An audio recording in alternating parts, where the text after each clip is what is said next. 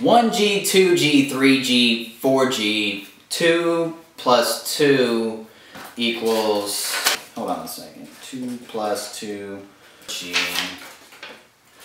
2G, 4G, 4 grapes, 4 garbage cans, 1G, 2G, 3G. Hmm. 3G, 4G, 4G LTE. There's been a lot of talk about 4G networks across the nation, across different carriers as well. Whether it be AT&T, Verizon Wireless, T-Mobile, they're all talking about 4G. Even people are talking about 4G. So what exactly does it mean? My name is Lewis Bertolucci from LimeWedge.net, and I'm here today to talk a little bit more about Verizon Wireless's 4G LTE network within the Louisville community. Recently, within the past week, um, I've heard rumblings that the 4G LTE network was actually available within a strip of the Louisville downtown area. So what I'm to do today is hopefully maybe do some field tests, just to kind of do some, a couple of speed tests, just to see how quick the network is. Just to put in perspective, let's talk about 3G and let's talk about 4G. Now there's two differences between the two and that's the number one. So 3 plus 1 is 4. Add a G, that's 4G. The difference between the two is 3G and 4G equals negative 1G. Jeez. Anyhow, we're going to talk a little bit more about the 4G LTE network. And what that allows is mostly for mobile devices, computers, but mostly mobile devices and mobile cell phones to connect and download a little bit quicker. In layman's terms, that's pretty much what it says. Um, so today what I do have to conduct a couple speed tests throughout is the Samsung hotspot, which is 4G LTE capable and 3G as well. As you can see here, it makes a great pirate patch. As you can see here, it makes a great eye patch for a pirate. Or you can connect up to five devices with it. What I also have here is the Apple iPad. No surprise here, it's been out for a little bit now. I don't have an iPad 2. Um, I do just have the standard iPad. So what we're to do here is test a couple connections with this as well to run a couple speed tests off of it. Back to Cali, Cali, Cali. I'm back to Cali. Hmm, I don't think so. I'm back to Cali, Cali, Cali. I'm back to Cali.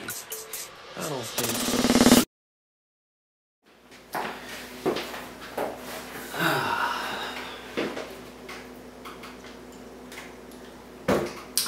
Alright, y'all. Or as Paula Deen would say, Hey, y'all! Anyhow, as I conducted the field test study, I just got back from that. So I tested out several different places throughout the Louisville area, and I was a bit disappointed. Alright, stop the presses. Stop right there. Alright guys, got one more quick thing to talk about. I know yesterday I did do some trial and some field tests outside, um, but today uh, what I want to do is do our second round of field testing. And I did say yesterday that I'll be back like the Terminator that was a terrible joke again. Uh, nonetheless, what we're going to do here is I'm doing a second round of field tests here to, to really see if we're going to get true results again. Again, yesterday I wasn't sure if there was maybe something with the server that I selected on the speed test results. Um, I did notice uh, that potentially today that there was one that was pinging off of Wichita, Kansas, which I'm not exactly for sure why. Um, it could be that these two devices were actually borrowed devices from Verizon Wireless, so therefore they're probably pinging off of, one was yesterday from Chicago, which I think was an issue, and then the other one was from Wichita, Kansas, which was today. So I did switch over the servers for the ping test just to kind of see if we can get some true results. So hold on a moment, and we're going to do a couple results, and uh, well actually a couple tests, I mean, to really see where we stand on these um, field tests. So day two, true results. Let's see if we can get it done. Alright, we're going to go on ahead and begin the test. We actually changed this over to the preferred server uh, because it looks like our previous server was actually in Wichita, Kansas, and we're not even close to that anymore, Dorothy. So uh, let's go on ahead and run it with the new server, which is in Indiana, and see what kind of results we get.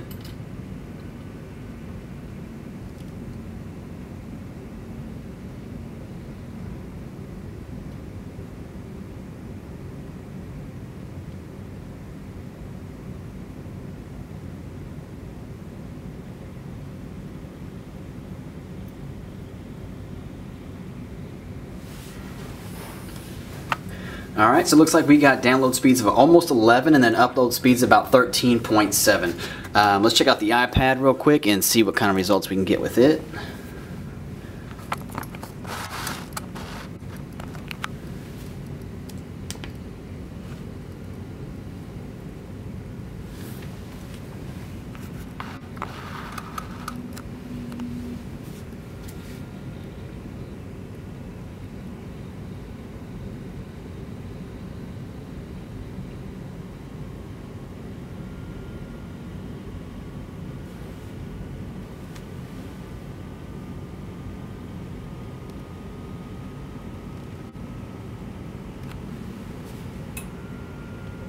So it looks like we're about 8.9, almost 9 megabits per second and about uh, 2 megabits per second upload speed. So what exactly does that mean? Well, let's check it out and, and let's pull up a quick website here. Maybe um,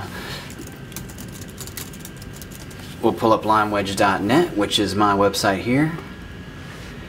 And as you can see, the loading of the images very quick here, and this hasn't been cached just yet, so let me try to pull up um, an image-rich item.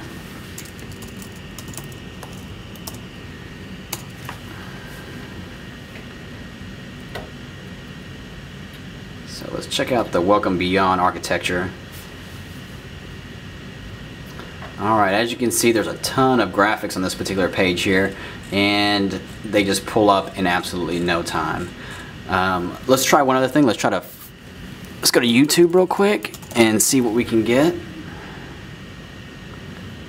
Everybody's favorite song.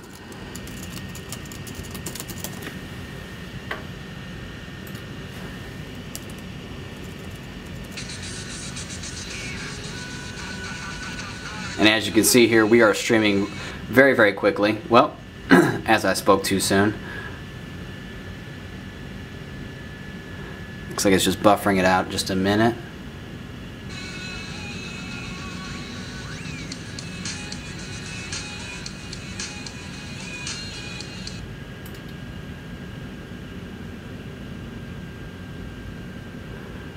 Alright, so it looks like we're able to stream relatively quickly. Um, there are some buffering issues here, uh, just kind of pulling up the video initially. Alright, pause that for a second. Let's move on over to the iPad. Um, try to get some results here. Sorry guys, you can see my reflection there. And what we're going to do is let's go on over to YouTube and see how quickly we can stream off of there. Let's pull up this one real quick. The evolution of dance. Alright. And I've actually got the video down, so. Or the volume down.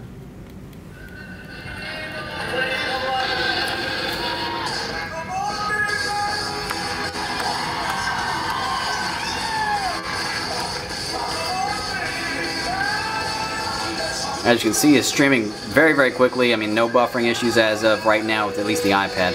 A couple issues with the um, the laptop, but nothing dramatic there. I mean, it's still pulling the content relatively quickly.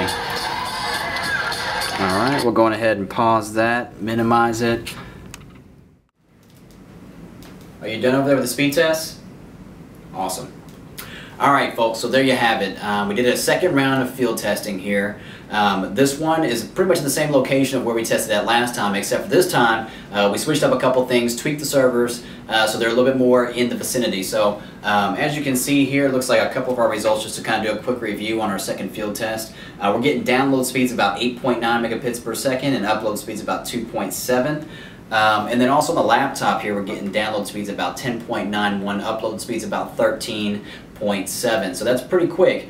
And actually, when I had a different server here um, in Merrillville, Indiana, um, earlier in the day, I, I was doing tests throughout the day just to kind of make sure there was some consistency there. Um, I actually got upload speeds of 23 megabits per second. I'm sorry, download speeds of 23 megabits per second. And then also upload speeds of about 6.51, but then that also jumped around to about 14 upload speed uh, megabits per second as well. So um, I'm going to kind of scratch yesterday's test results. It seems like that those were a little less consistent because uh, the variables just weren't aligned right there. We are using some servers in Chicago, which wasn't uh, nearly what we should have been using. So nonetheless, here's our second take at the field test with the Verizon Wireless 4G LTE network in Louisville, Kentucky. Um, take it as it is. Let me know if you have any questions or concerns, and maybe we can do some more testing um, as the rollout starts to occur uh, down the road. Thanks.